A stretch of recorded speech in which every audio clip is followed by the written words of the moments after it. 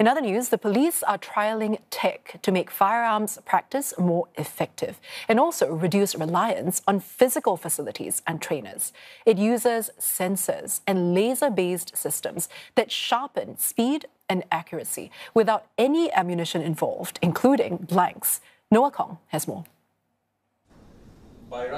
This familiar dummy target is facing more pressure as tech comes into play.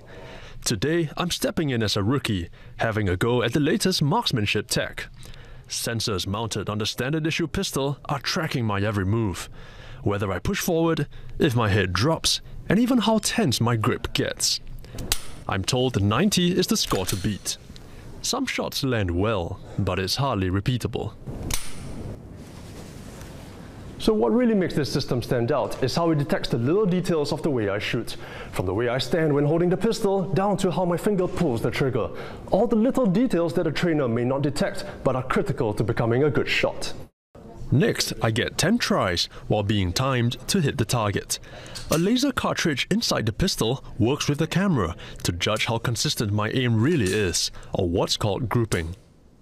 After about 2 minutes, I'm pleased with the result.